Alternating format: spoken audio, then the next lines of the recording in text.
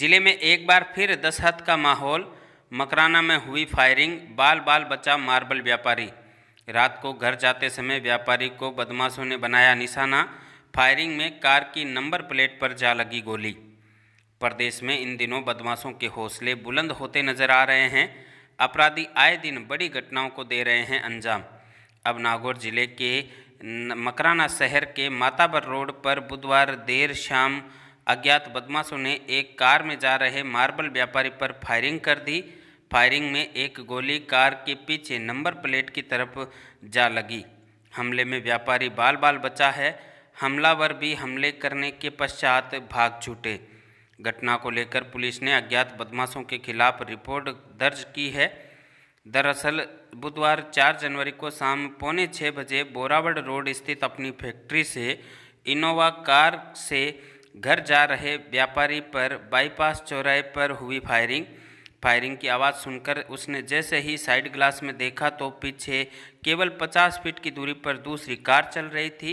इसी दौरान एक बदमाश ने एक और फायरिंग की जिसकी गोली कार की नंबर प्लेट पर लगी। इसके बाद व्यापारी डर गया और दौड़ता हुआ घर पहुँचा और हमलावरों ने भी ये देखकर रास्ता बदल लिया। उसने पुलिस को बताया कि अज्ञात बदमाशों ने उसे जान से मारने की नीयत से चलाई गोली। पुलिस ने देर रात मामला कर लिया दर्ज तथा क्षेत्र में करवाई नाकाबंदी। मंडी इतिहास में पहली बार जीरा पहुँचा बत्तीस हज़ार के पार। सात सौ इक्यावन रुपये की तेज़ी के साथ मेड़ता मंडी में कल 800 बोरी का हुआ व्यापार। प्रदेश की विशिष्ट श्रेणी की मेड़ता कृषि उपज मंडी में इस व्यापारिक सप्ताह के दूसरे दिन तक जीरे ने सारे रिकॉर्ड तोड़ दिए तथा जीरे के भाव बत्तीस हज़ार सात सौ इक्यावन रुपये तक पहुँच गए।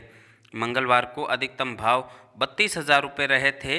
व्यापारियों ने बताया कि इतिहास में पहली बार जीरे के भाव में इतनी तेज़ी देखने को मिली है। दिसंबर महीने के दूसरे सप्ताह से तेज़ी हुई थी शुरू, जो लगातार है जारी। इतने अधिक भाव मिलने से किसानों की खुशी का भी नहीं रहा ठिकाना। 27 दिसंबर से लेकर अब तक लगातार हर दिन जीरे के भाव में तेज़ी देखने को मिल रही है। भाव में तेज़ी के कारण मंडी में भी आवक बढ़ गई है। नया जीरा तो नहीं है, परंतु लोग पिछले सालों का जीरा लेकर लगातार पहुँच रहे हैं। रोज़ाना करीब 600 से 800 बोरी का हो रहा है व्यापार। बाज़ार विशेषज्ञों के अनुसार इस बार जीरे की बुआई कम हुई है और जहाँ भी बुआई हुई है, वहाँ इसका उत्पादन कम रहने का है अनुमान। यूरोपियन कंट्रीज़ में भी जीरे की डिमांड बनी हुई है। ऐसे में भारतीय और विदेशी बाज़ार दोनों में जीरे की डिमांड बढ़ने से भाव में तेज़ी आई है। साथ ही national commodity and derivative exchange में भी तेज़ी की वजह से जीरे में आया है उछाल।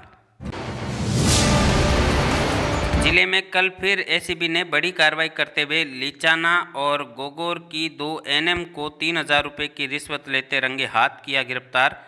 एसीबी नागौर इकाई की पुलिस निरीक्षक सुशीला बिश्नोई ने टीम के साथ ट्रेप की कार्रवाई करते हुए राजकीय उप स्वास्थ्य केंद्र लिचाणा की एनएम तथा राजकीय उप स्वास्थ्य केंद्र गोगोर की एनएम को परिवादी से राजश्री योजना के कागज़ तैयार करवाने की एवज में ली जा रही तीन हज़ार रुपये की रिश्वत के साथ रंगे हाथ किया गिरफ़्तार।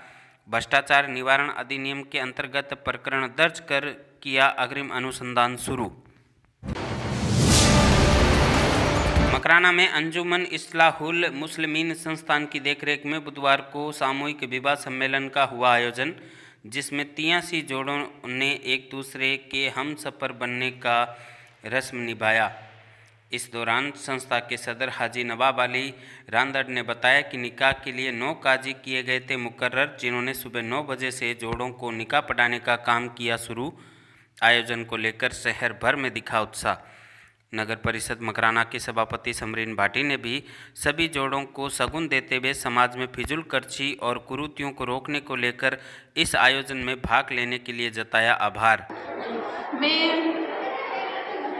मेरी ओर से सभी दूल्हा दुल्हनों को तय दिल से मुबारकबाद देती हूँ कि आज जो ये उमंग और खुशी देखने को जो मिल रही है जो बंधन में बंदे, बनने जा रहे हैं। नागौर पुलिस ने अब साप्ताहिक विश्राम योजना का विस्तार किया। 9 जनवरी से ज़िले के समस्त पुलिस थाना एवं पुलिस चौकियों पर पदस्थापित कांस्टेबल को दिया जाएगा साप्ताहिक विश्राम।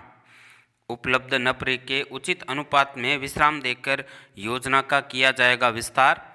आपको बता दें कि नागौर पुलिस ने पायलट प्रोजेक्ट के तहत इससे पहले जायल उपखंड क्षेत्र के सभी थाना क्षेत्र में किया था लागू। अब पुलिस महानिदेशक के निर्देशानुसार ज़िले भर में किया जा रहा है विस्तारित। एसीबी द्वारा पकड़े गए ट्रेप शुदा आरोपियों के नाम और फ़ोटो नहीं होंगे सार्वजनिक। एसीबी के अतिरिक्त महानिदेशक की ओर से जारी किए गए आदेश के अनुसार ट्रेप की कार्रवाई के पश्चात जब तक प्रकरण या आरोपी का न्यायालय द्वारा दोष सिद्ध नहीं हो जाता, तब तक आरोपी का नाम और फ़ोटो किसी भी प्रकार से सार्वजनिक नहीं किया जाएगा। केवल विभाग और आरोपी के पद का नाम ही मीडिया में होगा सार्वजनिक। नागौर एसपी राममूर्ति जोशी ने कल शाम पाँच बजे मेड़ता थाने का किया औचक निरीक्षण। औचक निरीक्षण के पश्चात साइबर ठगी को लेकर एसपी ने कहा कि ज़िले में कुछ ही दिनों में साइबर थाना भी अपना कार्य रूप देने वाला है, जिससे साइबर ठगी की वारदातों पर लगेगा अंकुश। इस दौरान पुलिस अधीक्षक ने साल 2022 के मेड़ता के पुलिसिंग रिपोर्ट कार्ड पर भी की चर्चा। चर्चा के बाद साल 2022 के कार्य को सराहा।